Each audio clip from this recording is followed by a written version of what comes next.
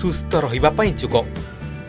Corona କାଳରେ ଭର୍ଚୁଆଲରେ ଯୋଗ ଦିବସ ଶହେ ନବେ ଦେଶକୁ ସାମିଲ କରିବା ପାଇଁ ଯୋଜନା। ମହାମାରୀ ପାଇଁ ଚଳିତ ବର୍ଷ ଭର୍ଚୁଆଲ ମାଧ୍ୟମରେ ପାଳନ ହେବ ଅନ୍ତର୍ଜାତୀୟ ଯୋଗ ଦିବସ। ଆସନ୍ତାକାଲି ସକାଳ ଛଅଟା ତିରିଶରେ ଯୋଗ ଦିବସ ଆୟୋଜିତ ହେବ। ଏହି ଅବସରରେ ଦେଶବାସୀଙ୍କୁ ଭିଡିଓ କନଫରେନ୍ସିଂରେ ସମ୍ବୋଧିତ କରିବେ ପ୍ରଧାନମନ୍ତ୍ରୀ ନରେନ୍ଦ୍ର ମୋଦି। ଏଥର ଯୋଗ ଦିବସର ଥିମ୍ ରହିଛି ସୁସ୍ଥ ରହିବା ପାଇଁ ଯୋଗ। ଯୋଗ ଆମ ଜୀବନଶୈଳୀର ଅଂଶବିଶେଷ ହୋଇସାରିଛି ଏହା ସାମୂହିକ ଭାବନା ରୋଗ ପ୍ରତିରୋଧକ କ୍ଷମତା ଓ ଏକତାକୁ ପ୍ରୋତ୍ସାହିତ କରିଥାଏ।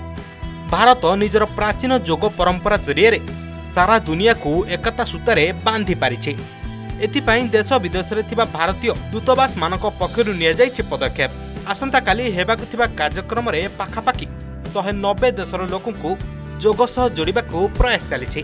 ସୁସ୍ଥ ଶରୀର ଓ ଜୀବନ ପାଇଁ ଯୋଗ କେତେ ଗୁରୁତ୍ୱପୂର୍ଣ୍ଣ ସେ ନେଇ ସନ୍ଦେଶ ଦେବା ପାଇଁ କରାଯାଇଛି ପ୍ରୟାସ।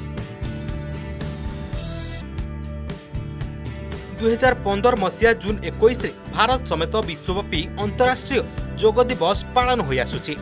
ଯୋଗ କରିବା ଦ୍ୱାରା ଶରୀର ଓ ମନର ସର୍ବୋତ୍ତମ ସ୍ୱାସ୍ଥ୍ୟ ରକ୍ଷା ସମ୍ଭବ। ସେଥିଲାଗି ବିଶ୍ୱବ୍ୟାପୀ ଲୋକ ଏବେ ସୁସ୍ଥ ରହିବା ପାଇଁ ଯୋଗକୁ ଆପଣେଇ ନେଇଛନ୍ତି।